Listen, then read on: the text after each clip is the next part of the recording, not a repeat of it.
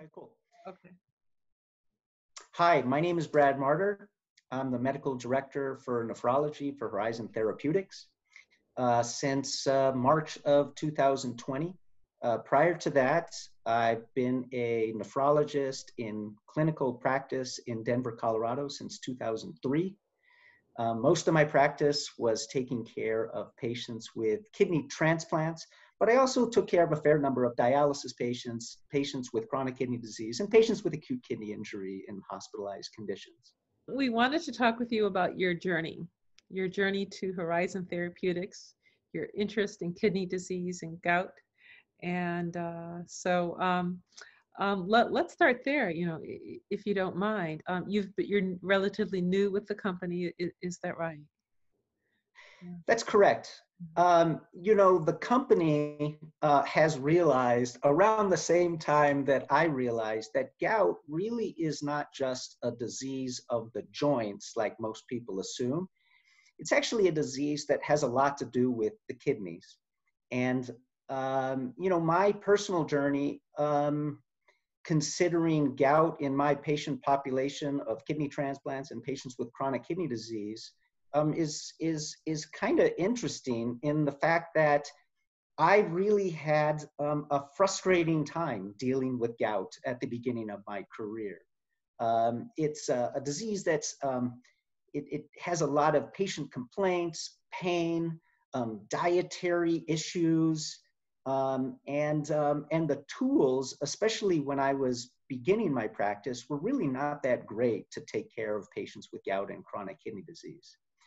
Um, and over the years, I found that by not dealing with the disease um, uh, uh, independently, uh, that is, by referring my patients' gout issues back to their primary care doctors or to rheumatologists, um, I was just simply frustrating patients who had to uh, uh, wait longer uh, to get appropriate treatment and also, um, many uh, healthcare providers that are not familiar with chronic kidney disease will end up starting these patients on inappropriate medications like NSAIDs or incorrect doses of medications that need to be strictly regulated for patients with chronic kidney disease. And so it was through trying to help my patients get better treatments more efficiently that I really found a better way to think about gout and a better way to treat these patients. And in fact, that became one of the most rewarding parts of my practice because so much of what a nephrologist does is just um, making improvements of numbers on pieces of paper. Um, and very little uh, do we have the opportunity to actually take care of such a significant disease that patients are suffering from. And so I found by actually um, alleviating the suffering of my patients with gout um, I was able to actually um, have a rewarding practice that um, at the end of the day, I was able to say to myself and even my teenage daughters how much benefit I was giving for, for patients who are really suffering. Um, and so that was um, something that I felt like I could benefit patients one at a time. Um, but if there's something that I could do to help educate other nephrologists on um, how to manage gout in these patients and that they could then pay that forward to help patients in the same way that I could make actually a more substantial impact. And that's really the motivation between moving from clinical practice to my role at Horizon uh, uh, in this last year. Mm-hmm. Now, what percentage of your patients uh, then um, are also have gout? So this is really interesting. And I always knew that I had a lot of gout patients, but when you really look at NHANES data that describes both chronic kidney disease and self-diagnosed uh, uh, gout in patients, it turns out that for patients with stage three chronic kidney disease, 25% have gout.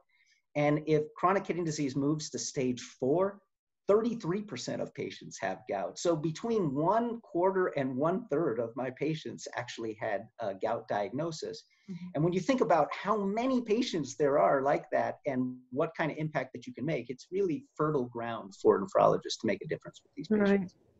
You were saying that gout is actually, to you, a, a kidney disease. Um, it- That's exactly right. Um, you know, sure, most of the symptoms that patients have uh, with gout uh, takes place in peripheral joints. Um, that's generally where um, these gout flares and inflammatory process um, because of uric acid deposition is occurring. But the reason why uric acid is crystallizing and depositing in joints is because the kidney is not uh, eliminating it from the body like it should. And when patients have chronic kidney disease, that elimination becomes more difficult and patients end up becoming more hyperuricemic and, and this uh, uric acid ends up crystallizing not just in their joints but in many other parts of the body. You know when you think about it uric acid is actually in every extracellular body fluid except for the csf which means that gout crystals can form in basically every tissue of the body except for the central nervous system and so we see uric acid crystals in basically every structure of the heart, the coronary arteries, the valves. We see uric acid deposits in the eyes. We see uric acid deposits basically in all these tissues. And because uric acid crystals do cause uh, an inflammatory reaction in the body, there is chronic damage that occurs at all these places. And um, once we start to think of gout not as an intermittent condition localized to peripheral joints, but more as a progressive systemic disease of deposition and resulting inflammation. I think a lot of uh, healthcare providers, uh, be they rheumatologists, nephrologists, primary care doctors, podiatrists, or whatever, are going to think about gout a lot differently. Mm-hmm. So um, let's talk about a diagnosis. If a uh, nephrologist is meeting with the patient for the first time. Um, the patient uh, has kidney disease and may have signs of gout. Um, what steps would you recommend in terms of uh, uh, testing, diagnosis, treatment, next steps? So I'm really glad that you brought that up because it's so important that people have a good, uh, that physicians have a good way of being able to diagnose uh, gout and then appropriately treat it. Interestingly enough, um, even though the American College of Rheumatology has very stringent definitions and guidelines regarding both uh, gout uh, diagnosis and treatment, the um, uh, uh guidelines for nephrologists uh, don't have any kind of um, um, real standing on gout um, treatment or a diagnosis. And I think that that's another way that we can really impact the lives of a lot of patients is to um, create those kinds of diagnostic and treatment guidelines that are specific to patients with uh, chronic kidney disease because they are quite different than patients who um, uh, uh, don't have uh, kidney uh, issues to begin with. In what way are they different? Well, for example, um, in a lot of ways, gout management can't be done um, with patients with reduced kidney function like they can with normal kidney function. Um, treatments for flares, for example, which are by and large treated with NSAIDs, these medications are contraindicated for patients with advanced kidney disease because they can deteriorate kidney function further. In addition to that, patients who have um, uh, chronic kidney disease can't take all the same kinds of urate lowering therapies. Therapies that rely on the kidneys to uh, eliminate more uric acid are basically ineffective or dangerous because they can result in kidney stones. Uh, and also, dosing is limited in some of these medications because um, the medications are metabolized or eliminated through the kidneys. And so, do doses um, can't be done, uh, dosing can't be done in the same way as, as normal kidney function. And then on top of that, gout is quite common in patients with kidney transplants. And in these patients, it's particularly difficult to manage because of drug interactions with the immunosuppression therapies that all patients with kidney transplants need.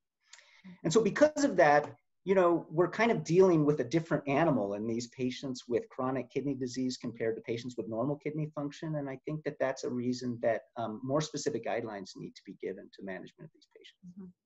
So what options do they have then? Treatment? So right. Um, the most important thing to understand uh, is that for these patients with chronic kidney disease, gout is so common. The next thing is that it's quite a bit more dangerous than we assume. Like I said, this uric acid is not just depositing in joints, but it's depositing in a lot of critical tissues that can serve to uh, propagate comorbid conditions that are shared by a lot of these patients, including diabetes and metabolic syndrome, hypertension, cardiovascular disease, and even mortality is found to um, be increased uh, by uh, gout as an independent risk factor. Mm-hmm. So the critical feature is to make sure that if a patient has gout, that we are lowering the uric acid to below its solubility point in the serum. If you continue to have a concentration of uric acid in the bloodstream that's higher than 6.8 milligrams per deciliter, which is the point that uric acid actually crystallizes, you're just going to get this ongoing deposition. You really need to get that uric acid lower, and that's reflected in the American College of Rheumatology's guidelines to lower uric acid to six or below in patients who have gout. Um, unfortunately, the therapies that we use to lower uric acid in these patients with chronic kidney disease, like I said, are limited. Treatments like allopurinol um, uh, has maximum doses in patients depending on what their kidney function is. And medications like febuxostat, there is a concern um, due to a black box warning regarding cardiovascular death use. And so it's very, um, it's very important to get this uric acid uh, lower than six and if the options are limited, it leads um, uh, physicians to require uh, new kinds of therapies. And that's what we at Horizon are really dedicated to, um, uh, to make possible for these patients. Mm-hmm. Um, Horizon uh, has a, a, medication called pegloticase, which actually doesn't just work uh, like other uh, medications that block the production of uric acid, but pegloticase actually metabolizes the uric acid that is in the circulation, converts it to allantoin, which can be eliminated a lot easier than, than, than uric acid. And so even um, uh, courses of uh, pegloticase that are limited in duration can actually eliminate very efficiently large uh, volumes of deposited uric acid that have been accumulating over years or decades in a lot of these patients with chronic kidney disease. And, um, and that uh, is in the end required for, uh, for patients that uh, have been living with gout that has not been um, controlled for such a long time. Mm-hmm. And pegloticase has been uh, approved for about 11 years now and uh, has really been a, a major game changer for gout patients. That's correct. You know, I think part of the frustration of treating any kind of disease um, is when you just don't have the tools to be able to help patients. Mm-hmm. And that's not just frustrating for patients, but that's frustrating for doctors. Mm-hmm. So, pegloticase is actually a real game changer because all of these patients that have had uncontrolled gout patients who continue to have uric acid levels above six milligrams per deciliter, patients who continue to have flares, and patients who have evidence of tophaceous deposits can all get a treatment now that um, is very effective at eliminating um, at, at, at, eliminating this uh, this uric acid deposition. Mm-hmm. And um, at Horizon, um, we're not just interested in resting on our laurels uh, with the kind of therapy that we have now for gout, but we're always looking for ways to make this therapy more effective. Um, and we're always looking for new therapies to also treat uh, this, uh, this disease condition. Mm-hmm. On, on that note, is, um, is there anything else you'd like to leave us with today?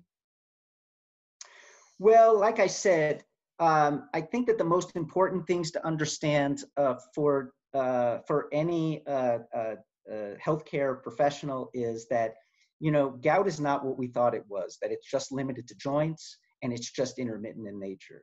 It's systemic it's ongoing and it's progressive.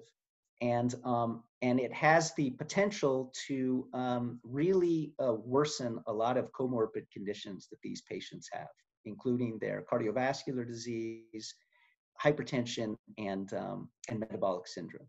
Mm-hmm. And what is the mortality rate for patients with these complications, um, with gout, kidney disease, and? Mm-hmm. Right. I mean, mortality rate for patients with kidney disease is extremely high, especially for patients whose kidney disease um, has advanced to end stage and now they're requiring dialysis. We're looking at mortality rates of 15 to 20% per year. And, um, and unless we are able to deal with um, mitigating all of the risk factors that lead to progression of cardiovascular disease and chronic kidney disease, um, that uh, mortality rate is not going to be able to, uh, to improve. Well, on that note, Dr. Marder, um, I would like to thank you for your time. We look forward to following your work and talking with you again. Thank you, Amy, for the opportunity to talk to you today and to uh, make my thoughts uh, known to, uh, to your network. I really appreciate the time. Thank you.